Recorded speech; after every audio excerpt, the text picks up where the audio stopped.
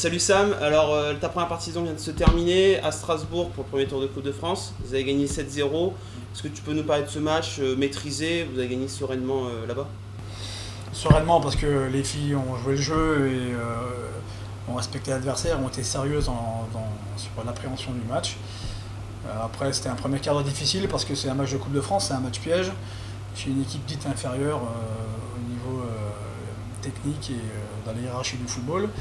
Elles nous ont posé euh, des problèmes pendant 20 minutes jusqu'à ce qu'on ouvre le score. Et puis après, bah, le match euh, s'est euh, complètement ouvert. Et puis on a patienté. Et surtout, on souhaitait vraiment passer ce tour-là.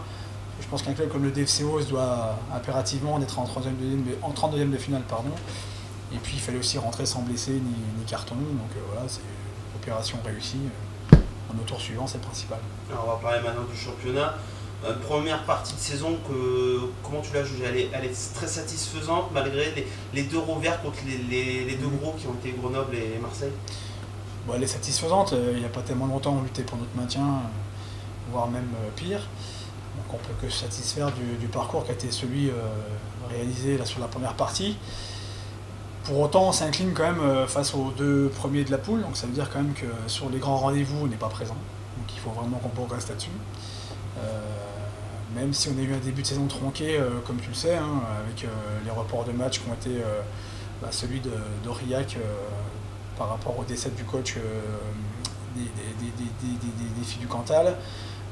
des matchs amicaux qui ont été remis parce qu'on nous a planté au dernier moment, notamment contre Genève et Lyon. Ce qui fait qu'on arrive à Grenoble avec quasiment trois, une quinzaine, voire 20 jours sans match. Donc on arrive là-bas sans rythme, avec une équipe renouvelée à 60%, et avec une ligne de défense euh, complètement renouvelée, avec des filles qui euh, proviennent de, certes de clubs de D1, mais n'ayant jamais joué ensemble. Donc articuler une défense avec euh, composée que de joueuses nouvelles, c'est difficile. Tu vas à Grenoble sans rythme, avec ces caractéristiques-là dans les différentes lignes, donc c'est compliqué de s'imposer là-bas. Pour autant, dans le jeu, on a fait le jeu égal, si c'était même plus, puisqu'on s'est créé, créé, quand même plus d'occasions franches que nos amis grenobloises. On s'incline sur trois coups de pied arrêtés, donc notamment euh, deux coups francs, euh, deux, corners et un coup, franc indirect. Euh, c'est entre le match de Marseille, tu perds 1-0 alors que ça mérite plutôt un match nul. Et le match de Grenoble, vous perdez sur trois coups de pied arrêtés. Les deux sont à le même niveau de frustration. Il y en a un où tu es plus frustré d'avoir perdu et de ne pas avoir su accrocher le match nul au moins rentre beaucoup plus frustré de Grenoble, de, pardon, de, Marseille que de Grenoble. Parce qu'on avait l'occasion de. À Grenoble, c'est le début du championnat, donc tu ne sais pas encore où tu vas. Ton équipe est euh, renouvelée euh, à un taux important. Là, tu vas à Marseille avec déjà des certitudes. Euh, c'est ton 11e match, tu, tu, connais un petit peu les caractéristiques de ton équipe, les progrès accomplis. Et tu sais que si tu, vas t'imposer à Marseille, tu peux, tu peux très bien rentrer champion d'automne. Même si c'est un titre honorifique, c'est toujours intéressant de, virer premier à la trêve. Donc frustrant parce qu'effectivement un jeu égal et un match nul était à mon avis euh, largement équitable et mérité. Et du coup avec cette série, en fait cette première partie de saison, on a vu vraiment de très très belles choses, notamment dans le jeu. Il y a eu des matchs à, euh, domicile, à l'extérieur qui ont vraiment été de, bonne qualité. Mhm. Euh, au début, vous, vous visiez le podium, les trois premières places.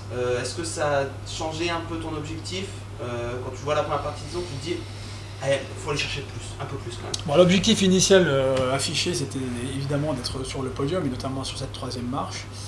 Alors, euh, si à la fin du championnat, on peut être euh, un peu plus haut sur la boîte, on ne va pas se priver. Pour autant, on a quand même constaté que lors des confrontations directes avec nos principaux rivaux, au rival, pardon, on est chez les filles, ben on s'est incliné. Donc il faut, si on veut espérer mieux, il faut faire aussi bien que la première partie et puis être capable de battre euh, Grenoble et, Marseille. On a l'avantage de les recevoir à Dijon. À domicile, vous êtes encore invaincu. C'est l'avantage, tu en parles, euh, de, jouer à domicile, du coup, les matchs retour face à Marseille et Grenoble. Du coup, ça peut laisser encore espérer une chance, ça peut encore laisser une opportunité pour pourquoi pas les deux premières places sans parler de monter tout de suite, au moins les deux premières places. Bah, si on n'avait pas l'espoir de, faire mieux dans la deuxième partie de saison, écoute, on part en vacances, puis moi je reviens pas. Voilà. Euh, c'est pas le genre de la maison que de pas jouer les matchs pour les gagner. Il y en a 11 à jouer, et moi je suis parti pour les gagner les 11. Alors après, il y a un adversaire, il y a la réalité du moment, il y a, parfois des arbitres qui viennent entraver euh, ta, marche en avant comme à Marseille. Euh, donc on va tout faire pour. Après, on est chez nous, non seulement on s'est jamais incliné, mais on a tout le temps gagné. Donc on va maintenir cette dynamique-là. Enfin, en tout cas, on va tout faire pour. C'est le match de Grenoble dès, le début janvier en championnat qui va décider un peu de la suite ou pas de, comment vous allez aborder la saison Si tu t'inclines à la maison contre Grenoble, ben, voilà. oublier un peu les deux. peux... Ça va être difficile d'aller chercher la deuxième place et encore moins la première.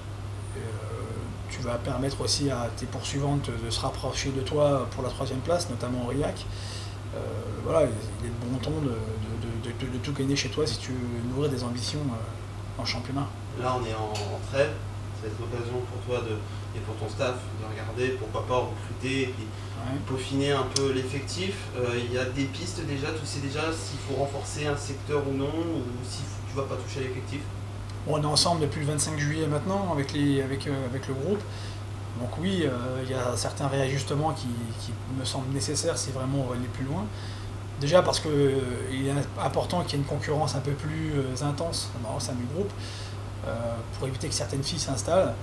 Et bon, on a des pistes effectivement, notamment au milieu de terrain, avec deux joueuses. Moi je vais passer une petite vacances à rencontrer un peu tout ce petit monde-là, voir comment on peut faire parce qu'évidemment ça engendre euh, un coût, euh, un investissement.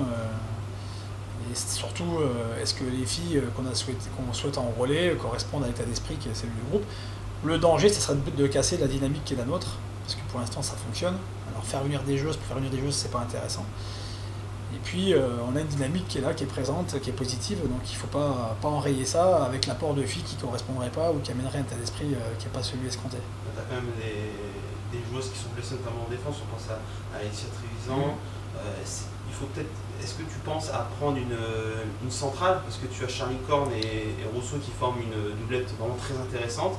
Mais s'il manque une des deux, ben tu n'as pas, pas forcément une solution du même niveau, une solution de, un plan B euh, équivalent.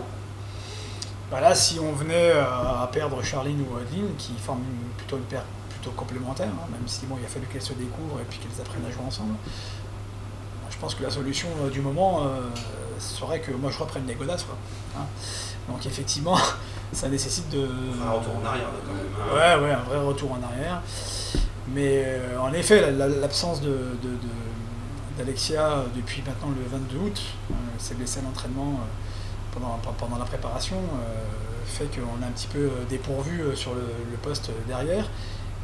Et il a fallu remettre Charline euh, dans l'axe alors qu'elle était plutôt prévue pour jouer à gauche et que Amandine Soulard joue à droite.